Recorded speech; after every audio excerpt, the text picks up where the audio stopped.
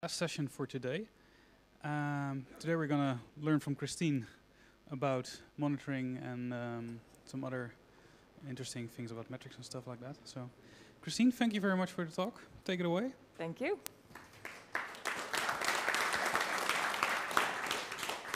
All right. Hi, everyone. I'm Christine. I co-founded a company called Honeycomb with Charity um, we are trying to help usher in a new era of tools for distributed systems and customers who have high observability requirements. We initially worked at Parse. Um, we met at Parse, which you can think of as a Heroku for mobile apps. Uh, she ran the infrastructure team, and I built our analytics product. We were there through the Facebook acquisition, um, at which point Parse was serving about 60,000 different mobile apps who all depended on us to be their object store, user store, uh, event store. By the time she left, about, a, about six months after I did, Parse served over a million different mobile apps. Um, so our battle scars from supporting those million different apps, those million different workloads, are what inform our worldview um, and our confidence that the world today is going somewhere where, without the right tools, uh, it's looking pretty dark and scary. Honeycomb, on the other hand, is working on those problems of observability, for software engineers because of what we saw at Parse. Uh, and I'll tell you in this talk about how observability is different from monitoring in some very real ways. So platforms and developer APIs uh, are very near and dear to my heart. And I want to talk a little bit about what makes platforms successful. From a technical point of view, and specifically that as pertains to the observability and the quality lessons we learned at Parse, um, at Facebook, and at Honeycomb. The wonderful thing about platforms is that you have the problems of every customer added together, multiplied by co-tenancy problems and problems of scale. You have to treat them natively, um, or otherwise you're just an outsourced ops and support team. At Parse, by the time we had over a million different apps on our platform, um, what this meant is that we essentially had a different failure mode than a lot of other software companies. When you're building a consumer product, um, you have a little more leeway. Your, you can, your, your backends can fail, and your clients will know how to uh, cover, cover that up or retry or, or fall back to some fake data. Um, approaches that require knowledge of your application, your use case, and what your end users expect. As a platform, as this backend service for all these different mobile apps, uh, we, we didn't have that leeway. We had to be exact. We, and our customers relied on us to be always up, always around. And increasingly, we're seeing software, more and more software companies be a platform themselves. Whether or not you think of yourself as one, um, if you have an API, if you have people who are starting to uh, not rely on your end experience, but rely on the correctness of the results your servers are returning, um, you're also becoming a platform. And when it comes to observability, platforms have these characteristics that mean they're on the cutting edge of how we think about distributed systems and supporting them. Uh, we pulled this from blog post. Uh, the URL is at the bottom, and um, it's a great post that kind of goes into detail, but here's the gist. You need, you need to make something that people genuinely need, uh, bringing real value to their lives. An API should never feel optional, a nice to have. Uh, ideally, as a platform, this API is the core way that people are interacting with your service. What is the business model for my API? Usually the wrong question. Um, strong APIs are, are the way that people access your great business model. The business model and monetization also forces the conversation about who retains value where um, and what value the users of the API gain versus what values the, the provider gains or retains. Um, roadmap, uh, communicating the roadmap is uh, communicating a clear roadmap to your developers um, helps your developers plan and depend on how your platform is going to grow. Uh, things like back backwards compatibility uh, are serious commitments, and you need to understand your commitments, or else you're, you're in for a world of hurt. Um, you're, you're also building for developers, so it should be reusable, composable, flexible, as simple as possible, the, with the right layer of abstraction. And finally, as a platform, you're the basis for other people to build on top of. So you need to be steadier, more predictable than your average software company. And these last two, this support and stability, means that you as a platform become understandable. What does that mean? There's no such thing as a great API with bad support, uh, because this, because this, this, this support means things like good API design, stability, versioning, um, a low time, a low time to first hello world, um, something that people can immediately understand how to use it, how it's supposed to behave, and again, how they can depend on it. Um, but understandability also means your own support people or your own developers being able to quickly and accurately understand and explain any behavior your users are complaining about.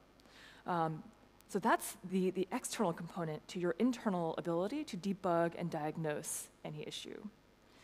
So the two of these together are understandability, which is what we're talking about today.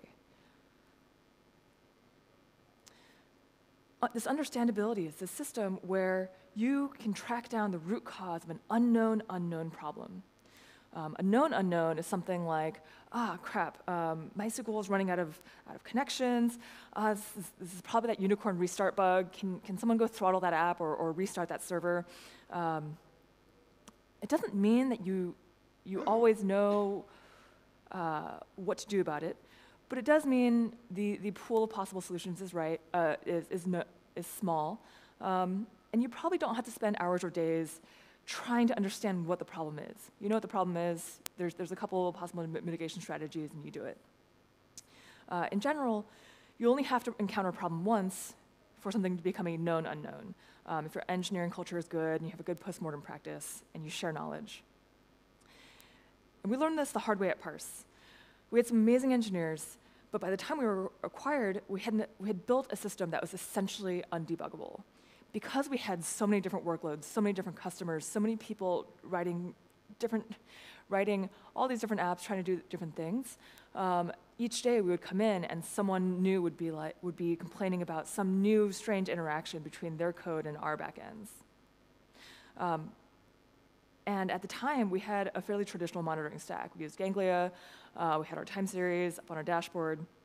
Um, but when we got to Facebook, when we started using their tools, it changed our lives. We were able to go from taking hours or days to debug a problem or add some instrumentation, special casing a particular app, and tracing it through, to it taking minutes or seconds to be able to look at any of those segments, to look at any of those apps. Um, and we realized that th that was the difference between monitoring and observability. So with monitoring, you have essentially a finite set of things that you care about, that you're watching um, and there's an acceptable range uh, of behavior within those. So it's a little bit more straightforward to set these thresholds, set some alerts, um, make sure it's, it's doing exactly what you think. And it's also important to note that these tools tend to be ops-oriented. Um, a lot of our time series tools, um, a, lot of, a lot of things like Ganglia, make it very easy to immediately get system stats, CPU, memory, disk usage. Awesome. Is that going to help your developers understand what in their code is causing this customer to complain. On the other hand, observability is it's a term taken from control theory, and it's this idea that um, you want this ultra-rich debugging environment. And to get that, you have to open the hood and play around with what's inside. Um, and when I say play around with what's inside, I mean play around with the internals uh, to make them report their state so that you can uh, then understand, okay, well, this is what's going on inside. Here are the outputs. What's going on? What's, what's happening? And because of that, we associate it a little bit more with engineers, with developers, because you have these nouns that people are working with when they're writing the software themselves. For us at Parse, this was app ID. Um, for, for someone else, this might be shopping cart or user or MySQL query, something, something that is their own cause of chaos in their system. Um, and, and when it, we talk about building things for software engineers, things for developers, that's who we want to build this for. We really felt like the first wave of DevOps was uh, teaching ops people to write code, to automate. The second wave of DevOps should be teaching software developers to own their code, to own the reliability of their system, because the actual ops teams are more, are more and more on the other side of an API. So What happened at Parse was we had this system with metrics and dashboards, um, and every day a few of them would encounter something. Sometimes it was their fault, sometimes it was ours. Um, but we, either way, we didn't have the ability to reliably track down whether, whether it was them writing bad code or something going, else going wrong in our SDKs or our backends. Um, because we only had these traditional tools, we could tell whether, whether the system was healthy. Um, and so what would happen is someone would write in complaining Parse's down, and we'd say, no, you know, all of our dashboards are green, error rates are within, within normal bounds. Um, are you sure? Have you checked your Wi-Fi? Are you sure it's not you? And something saying, no, it's not, when your customer or, or some user of your system is telling you that your, your, your platform is misbehaving, isn't useful to them.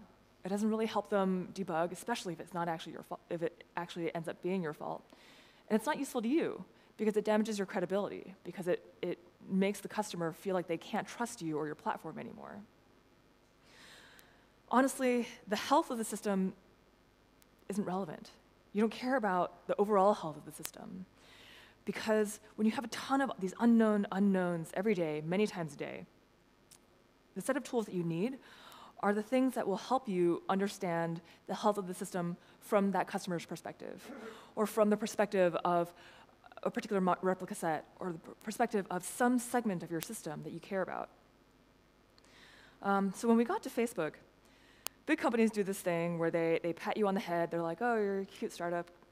Good job, you've gotten this far. And they, they hand you a bunch of tools saying, you know, this is what you should have been using all along. A lot of them were garbage. Um, a lot of them were very Facebook specific. Um, but this one called Scuba was, was, the, was the catalyst for this change in our behavior, where we could suddenly throw all of our data um, as, as requests. Not something where, this was not something where we had to um, take a request, break it off into a bunch of different counters, and, and try to look at a bunch of different graphs, figuring out what changed. We could take our full event, shove it into Scuba, and, and retain that context for the next time we said, hey, well, what does traffic look like for this, for this one app? Okay, well, traffic looks like this. But what about traffic broken, you know, what about the distribution of operating systems that their app is running on? What about the distribution of the app version? Where we could go down and at any point actually look at the raw the actual request that was issued to understand all of the different facets of this reality that we were living in. Um, another angle on the same story, our analytics product at the time was itself based on pre-aggregated metrics. Uh, we defined a few metrics and, and, allowed our app developers to break down by a small set of well-known things, HTTP verb, iOS versus Android. Um, but as we got to Facebook and as our popularity was growing, people were writing in all the time saying, hey, well, my graph has this spike in it. Um, why, why, why is there this spike? What's happening? What's causing it? Is it, is it you? Is it me? Do I just have way more users? And we had to end up falling back to our own API logs, falling back to Scuba, to answer this question for our developers. Um, you know, well, it looks like 75% of these requests are coming from one particular device maybe you should look into that. That's the sort of question we never would have been able to answer with Ganglia. We never would have been able to blow out our key space by storing um, request counts for every app and then every device ID within that app. But mobile app developers are distributed system developers. Um, and we were hamstringing them by not giving them the ability to drill down into this combinatorial explosion of the different facets of their data that they have to deal with day to day. And these are table stakes requirements when you're debugging sufficiently complex distributed systems. You've got to be able to track the success or failure of a request from the client to your servers, to your database, and back. Uh, high cardinality here means data that has lots of unique values.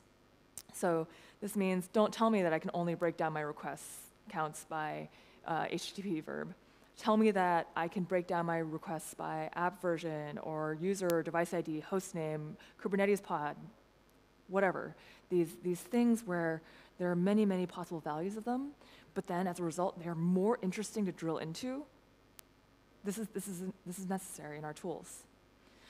Um, and you need to be able to retain the context that comes along with a request instead of just fanning out to some predefined set of counters and never being able to get back to say, well, well, what's underneath this spike? So we're not monitoring, folks, or we're not monitoring anymore, folks. Um, there are no longer a finite set of things that we're watching within a well understood set of boundaries. Uh, this is about understanding the situation when we need it. Pre-aggregation, um, or aggregating on the right side of an analytics code path, absolutely starts crumbling in the face of this high cardinality world. Um, we need to be moving away from unstructured text strings. Uh, logs aren't human scale anymore. They're, they're being produced at a rate that we can't possibly be using our eyeballs to read anymore. Uh, and so while they're at machine scale, we should be making them easier for machines to read, to parse, to extract interesting things out of. Uh, and sampling is how we keep that width and detail under control uh, by accepting that we don't actually need to hang on to every single log line or every single record of an HTTP request going through our servers. Instead, we know 200 OKs, they're nice to have, everything is normal, probably not that interesting. Let's keep one out of, one out of every 10, one out of every 100 representative requests. But let's keep every one of our er erroring requests. Let's keep every single thing, every single full request uh, when our system misbehaves in some way or, or exceeds some threshold so that we can go back and debug it later and look under the covers to say, hey, well, what, what were the other attributes involved when, when my system did this weird thing? We need to be able to tell stories with our data to understand why that graph looks the way it did, um, or why that customer's requests were failing. It's not enough to just have something that says, okay, well, it did this thing, and not be able to understand why or not be able to dig in a little bit further.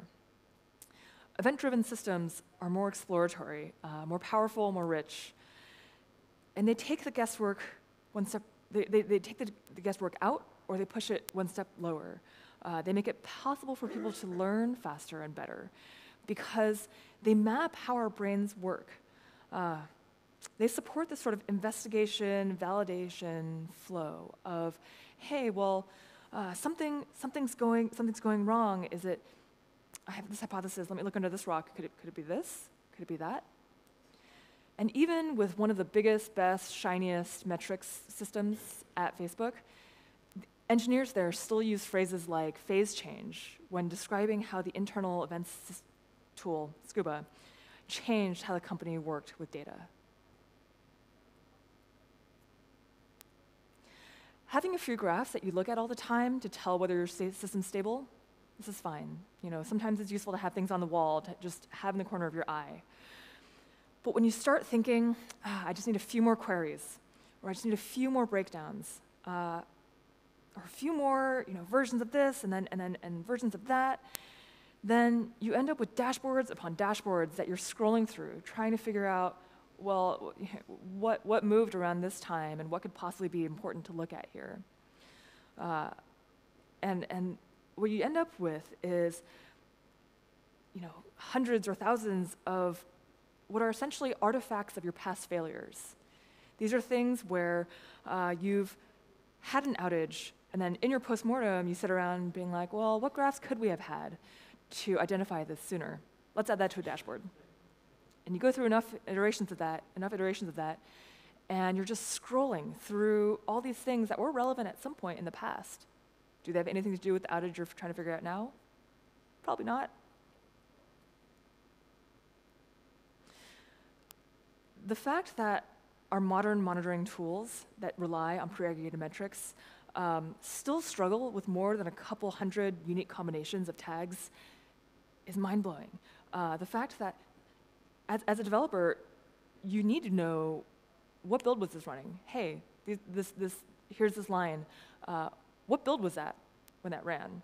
Um, build ID is not something that you tend to think of in the hundreds, thousands, millions, maybe. It's a monotonically increasing integer. Why can't you keep track of that?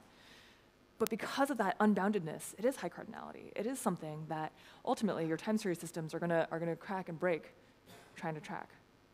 Um, and, and, again, I'm not even getting into user IDs, app IDs, the things that make platforms tricky to debug.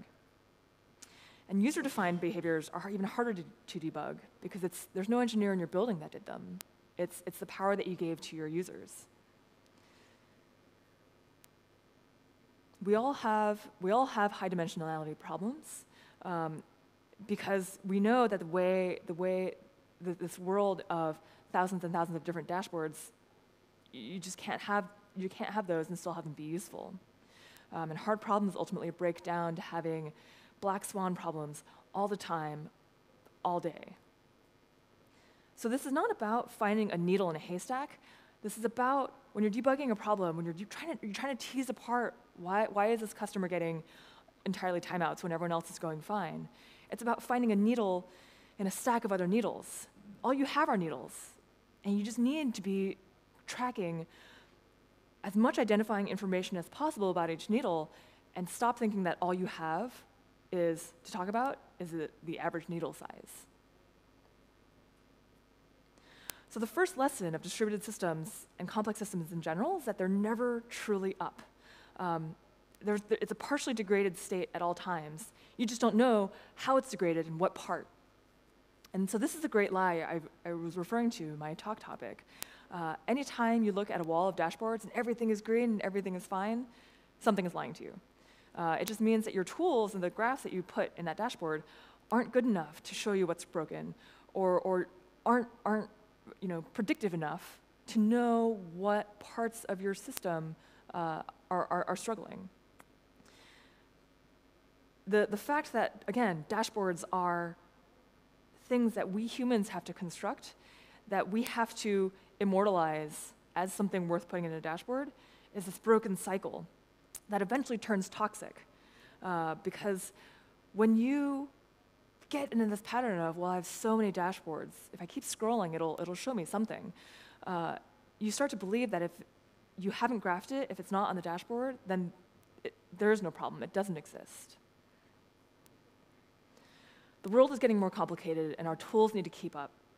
When we were working with simpler systems, LAMP stacks, we were able to keep a lot of it in our head, get to know our, get to know our databases or, or our language of preference uh, really, really well and be able to smell the problem.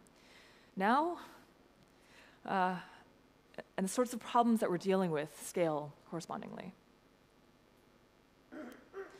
So any problem is an unknown unknown the first time you encounter it. Wow, what happened? Why? What's causing it? How, what do we do about it? After that, it's a support problem. You start quickly pattern matching problems to this library of likely solutions, uh, and you check them all in order. Oh, this thing is down. Is that because Redis is down? Yes? Okay, well, why is Redis down? Okay, well, is it because the process died? Uh, is it refusing connections? Oh, is it, is it, is it I deployed some config change and it's, it's trying to start up in the wrong environment. Oh, oh yeah? Okay, great, fixed it. Once you're out of likely possible solutions, then, then you're, you're, back you're back to ground zero. What, do, what do I do? Where, do? where do we start? How do we look? What's common across these failures? So in the future, our goal needs to be to turn these unknown unknowns into known unknowns as quickly as possible. And we have to get really good at answering these hard problems quickly. But it's not just as simple as answering questions quickly anymore. It's about having the information and the tools available to help us do the answering. It's not, it's not just a matter of having a really quick lookup in this lookup table in our brains from problem solution. When you're, when you're doing pattern matching, you're not, you're not actually asking questions. Um, you're just again, doing this mapping from, I've seen this thing before to, this was the thing that made it better. When you had a database in your LAMP stack, when you had a web tier, um, a monolithic, a single monolithic app, uh, most of the unexplained problems tend to be in the code. So you're like, okay, something's going wrong, let me attach a debugger, step through it, try to find it while it's happening.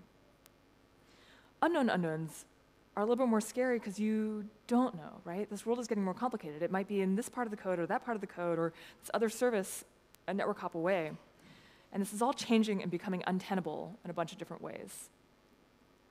So what we're finding, again, for these unknown unknowns, you have to start from the beginning. You have to start from, okay, well, what's going on with this customer? What are their requests? Okay, well, um, some of their requests are failing. Let me break down by status code. Okay, well, within this customer, within the status code, um, I still see some 200s, some 500s. Let me break down by endpoint. Let me break down by device type. Let me try these hypotheses, hit some dead ends, back up, and restart. When your platform and one of your customers has a problem, they don't care about your aggregates. They don't care about your system's health. They don't care about your wall of dashboards. They care about what they're experiencing.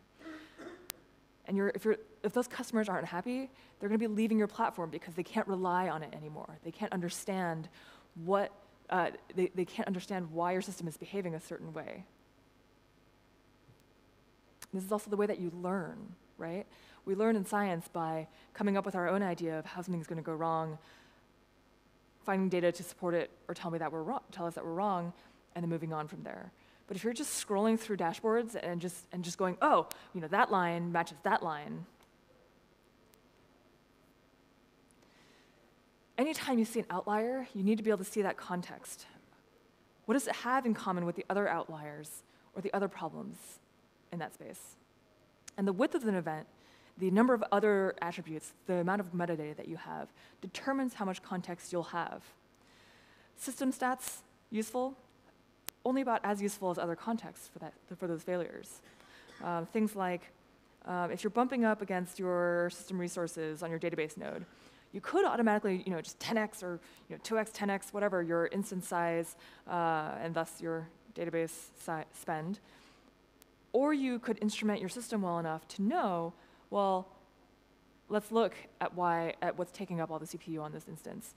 Well, it looks like we have one user taking up 90% of the write lock, and we could just throttle them to give our entire cluster breathing room. And this sort of context is what was killer for us at Parse. Um, one of the things that, that, that is implied when you don't have the ability to get this, these arbitrary slices of your, uh, of your data by the nouns that you care about is that your request count or a customer's request count ends up correlating to their importance. So if all you're doing is looking at top level metrics, um, and you're doing thousands of requests per day, you could have someone writing in, doing eight requests a second, being like, hey, you're totally down, and, and we running the system wouldn't know. But it sucks if that customer doing eight requests a second is Disney, trying you out, seeing if you're stable enough for them to move their apps onto your platform. Uh, and it sucks if all we can say is, well, sorry you're having a bad time. If you get bigger, we'll be able to tell you more about what's going on with your, with, what's going on with your requests. Um, the way that a lot of these hosted time series metrics vendors get around this uh, is by pre-generating a dashboard for their top 200 customers, um, which probably works great, unless you're customer 201, in which case, you know, sorry, don't know what's going on. Platforms, for whatever reason, have decided to build a business around supporting a bunch of folks who are intentionally and like very concretely abstracted away from the actual chaos that they're generating. They just see your platform working or not working. So all these things are changing these days, and all these things are pushing us towards this dark, scary world where millions of things can go wrong at any given time. Uh, microservices, you're taking the functionality that used to be nicely packaged in one code base, uh, you're splitting it up across the network. You're having to hop boundaries uh, of services, deploy units, and it's not enough to just attach a debugger because you need a debugger for your system. Instead of having a single database that you're super familiar with, where you can smell all the problems, you probably have a bunch of storage types and you have to start debugging them a little bit more naively because you just don't have the time to become an expert in the five different databases you're running. Instead of, instead of just users behaving in, in very prescripted ways, uh, you have developers. And it gets worse if you, if you let them write code and upload it to your systems, or if they're defining their own matching predicates uh, or writing their own queries. Uh, chaos in your system like this means more unknown unknowns to debug. Uh, the more creativity and functionality you've given your users, the harder it will be to debug. Every system has its points of multi-tenancy of shared resources, um, and these are the hardest to debug. The database example I used before, super hard to debug if you don't have the ability to tease apart by things like user. Um, because of the shared resources, right? One user has the ability to affect the rest of them, all of the rest of them. And if the, if the question is whether that customer or everyone else is more important, you know the answer. But determining whether it's that one customer uh, can be really hard to tease out. Systems have reached a level of complexity that you just can't keep in your head anymore, and we can't try to anymore. So we just need better tools to help us figure out where the problem is, what's going on, what it even looks like, and then trying to dig in and, and, and, and address them. And platforms feel this first, but again, everyone is moving, everyone is moving in this direction. All the technologies that are making it easier for developers to push code, own code, deploy, just means there's more moving parts for us to all worry about and keep up. So, what can we do about it? Instrumenting your code. Uh, and this, this, isn't something where you know sometimes people will be like, oh, is there just like a one-line solution so that we can we can check this box and my developers can be happy? Um, you can start with that, but it has to be something that's constantly evolving. Um, it's okay to not have visibility into every single corner to start with. It's just, and it's frankly just not reasonable to come out the gate with everything perfectly instrumented. Um, but over time, your system should trend towards the knowable, or should trend towards the understandable. As your code evolves, as new features are added, um, new things, new bits of instrumentation should be continue to, to be added. Uh, and you're never done. You're never completely done adding instrumentation unless your code no longer changes and no, there are no new inputs ever put ever sent in. Ah. Knowing where your resources are shared, again, is the most critical because this is where one user's performance problems can break or affect everyone else. Uh, at Parse and at Honeycomb, we have tons of this shared storage, shared compute. Uh, we always need to be able to segment by, hey, what's this one user doing? Or what's, what's, what's happening on this one node this one, for this one data set? It's important to understand your isolation model uh, because you need to be able to treat those differently from the ones you can completely isolate. We have uh, Honeycomb right now, we've got 30 Kafka partitions. We're, we're still pretty small. Um, and it's a big deal when when one, goes down. But different partitions hold different sets of customers. Uh, and so some partitions going down or being affected are a much bigger deal than others. Uh, for example, to use a Parse example, it's, it's a much bigger deal if Disney if the cluster supporting Disney during a demo goes down versus this cluster that is holding mostly dead and or like unlikely to ever come back customers. Uh, Kafka partitions, it's, it's, again, it's a big deal if one of them goes down. It's a bigger deal if our single shared MySQL instance goes down.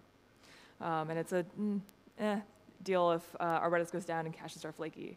But understanding how these rank and understanding how these impact your users, that's what's important anytime you're sharing resources. And again, I'm hammering this in. Uh, no one cares about the health of your system. They only care about it from their perspective.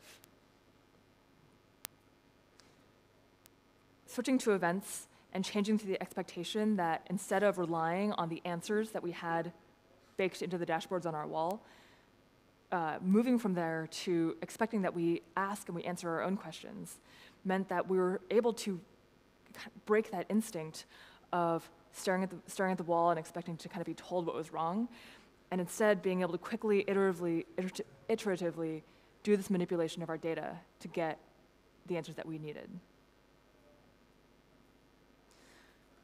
And this explorability, this open-endedness, is what makes it huge for platforms that are growing or, growing, or just growing in complexity.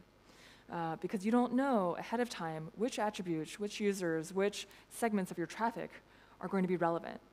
So by storing the full event, then aggregating on the read path, we parse uh, with Scuba Honeycomb now, we have full control over what filters and groupings we care about, what matter. Also, having all of our engineers on support was a huge part of making Parse the platform successful and is, is driving a huge part in what is helping Honeycomb hopefully become successful. All of the engineers know what sorts of promises we make to our end users, what they expect, and where we're falling short. So it just helps relentlessly close that feedback loop. Mm, this stuff is boring. This is table stakes. All of your engineers should be doing this already. But this is what's interesting. This is where you can take something that you're pretty sure works, but you're not completely sure whether it works across your uh, the the inputs in the wild or or the various, you know, all the all the weird combinations of things.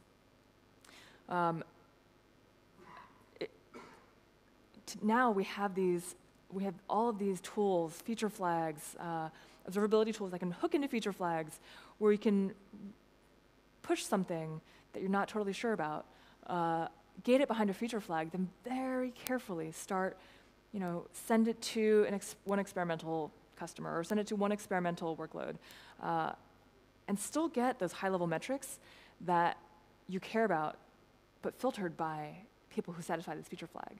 And you can crank it up more like incrementally to keep seeing this like very immediate obvious visibility into the impact of this questionable change.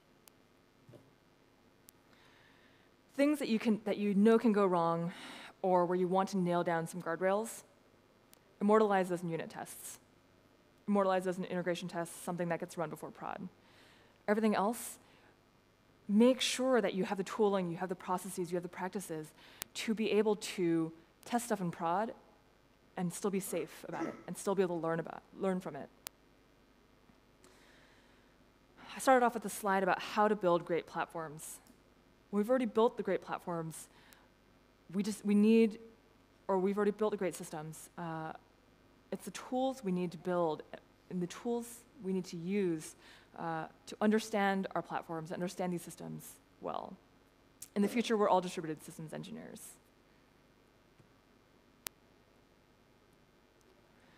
APIs are on the vanguard of technical development paradigms. Have we have a higher bar for technical excellence, reliability requirements, and honesty. Uh, users are, are, willing to forgive a lot if you're transparent and specific. Hey, ah, you know, someone's writing in, sorry, we see that too. It's, it, you, are getting those errors because you're writing this particular type of query. It's, doing, it's causing this uh, bad behavior in our database. If you make this change, things will be better while we while we fix the underlying issue. So we need to focus on trying to instrument so that we can answer questions in that way, not just monitor for these things that we know can go wrong. It's about turning these unknown unknowns into known unknowns into support problems as, quickly as possible. These problems are coming. They are not optional. And our solutions have to be able to deal with that too, deal with them too.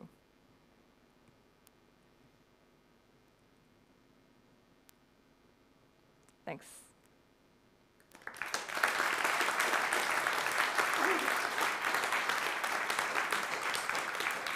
I think I have time for questions. Yes, we, yeah, we have time for Great. questions. Does anybody have a question? That's not All a right. lot. Well, I don't want to stand between you and drinks. Um, I'll be around if anyone ha- wants to talk about this more. Yeah. Thank you so much. Cool. Thank you, Christine. Thank you.